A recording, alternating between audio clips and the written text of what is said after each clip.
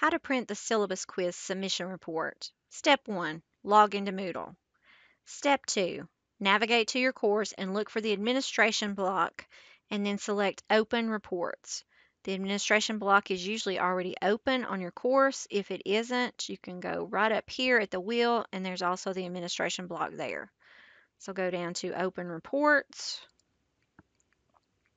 Next, navigate to the dashboard and click the drop down arrow and select Quiz Submission. Dashboard, Quiz Submissions.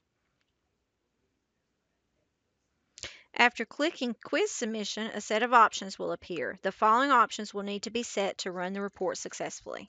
Here are your options. So we need to have all grade categories selected, all sections selected, syllabus quiz selected, and then take the check marks off for the date so that you get everything that you need.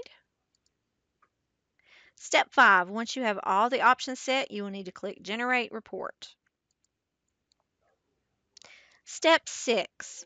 Next, select File and Print. On some computers, you will need to right-click to find the Print option.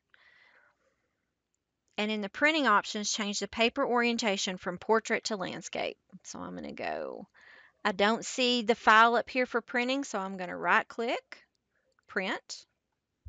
I'm going to go over and I'm going to change the page orientation from portrait to landscape. Um, change the printer to Microsoft Print to PDF. So this is my traditional printer. I want to turn this into a PDF.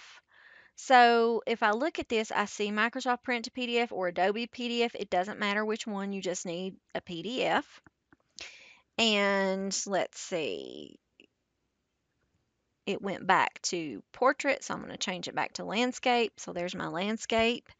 And then this will produce a PDF file when I hit print. So I'm going to hit print.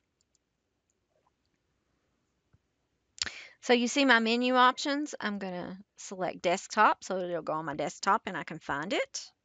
Your file name should be the same as your syllabus. So the course prefix, the course number, and the section number.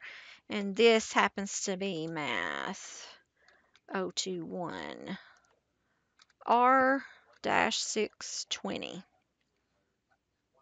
So save and then it says send this file to the appropriate admin assistant and your syllabus went to that person. So I'm going to show you what it looks like. I'm going to go back to my desktop and let's find it. Got all kinds of things there. So there it is. Let's open it up and look at it.